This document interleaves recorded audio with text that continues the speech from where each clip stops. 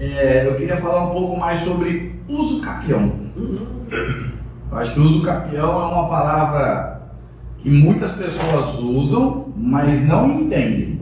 Certo? Certo. Então explica um pouquinho mais pra gente aí como funciona o uso capião. Uso campeão. O uso campeão ele tem um, um- uma, uma, uma função específica de regularizar é, uma situação que a pessoa já tem a posse, a propriedade, o domínio, ou seja, todos os institutos da propriedade, né? Uhum.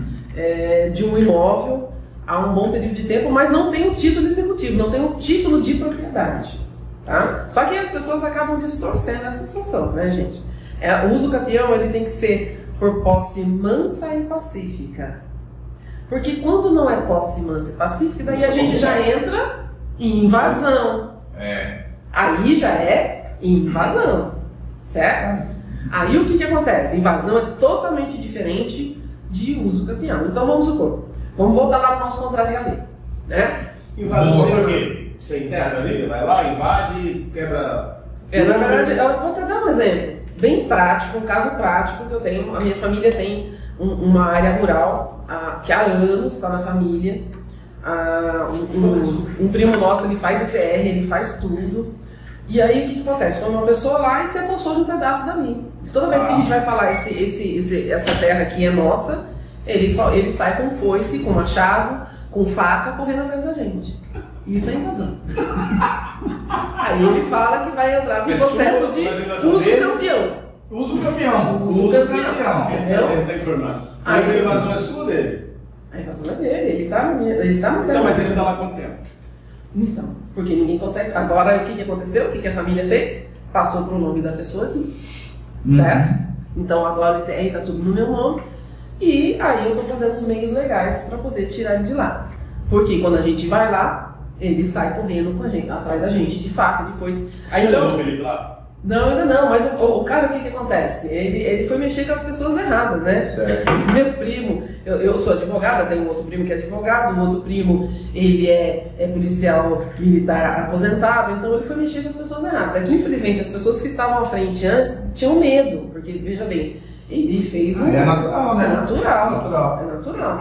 Então agora a gente está tomando as medidas necessárias, medidas jurídicas necessárias, para que a gente retome esse pedaço, porque não é toda a propriedade, foi um pedaço que ele invadiu. E aí a gente retome a propriedade, mas de maneira correta, de maneira legal, certo? E se prevenindo também desse tipo de É porque, porque é, é até, é até engraçado, né? Eu posso dizer. O cara foi lá, tomou um pedaço da terra, construiu. Se você tira ele de lá, você invadiu a propriedade do cara. Sim, sim. Sai daí, eu vou arrancar o celular. É, a casa é minha, você casa é não vai invadir a minha, aí- propriedade, não. Ferrou. Entendeu? Mas na Mas- verdade é aquilo que a gente volta. Quem compra errado, paga, paga duas vezes. Quem paga mal, paga duas Paga. vezes. Então, se ele falou que alguém vendeu aquele pedaço, pra, aquele pedaço de terra para ele, ele levantou uma construção lá em algo que não era dele, infelizmente, pela lei, ele está errado. E outra, está afastado toda e qualquer hipótese de uso capião, porque não é posse mansa nem pacífica, certo? É uma posse ilegal, é uma posse precária e com uso de força excessiva e violência. Entendi. O, Aí o- um exemplo claro da diferença de invasão e uso capião.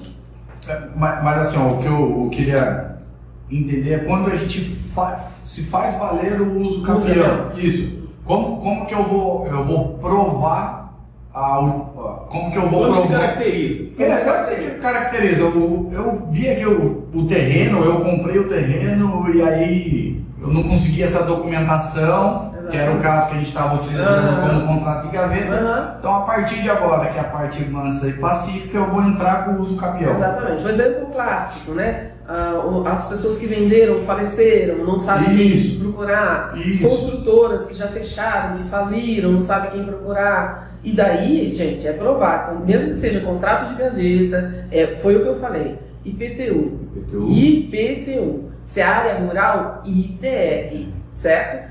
Quem, o IPTU, na verdade, ele tem uma força tão grande que as pessoas não dão valor para isso. Então, se você tem um imóvel, você não tem aquele título de propriedade, você não tem lá escritura lavrada no cartório, você não tem lá o seu nome na certidão de matrícula, lá no cartório de Perfeito. de imóveis, Perfeito. aí e você não tem o título executivo, você não tem o título de propriedade. Ok. Nesse caso, gente, IPTU, contrato de gaveta, tudo que você puder formar de prova é essencial. É, Como mas- você vai transformar essa posse precária Mas a matrícula atualizada ela sobrepõe a todos os outros. Você pode ter matrícula atualizada, de repente você não foi lá e não, alterou na prefeitura ainda. Não, mas aí você pode não ter alterado metragem, qualquer outra coisa. Mas se tiver no seu nome, você já tem o título. Não, não, tudo bem. Mas se você tem hoje o, o documento do cartório, né? Que é o- a certidão atualizada. Uhum.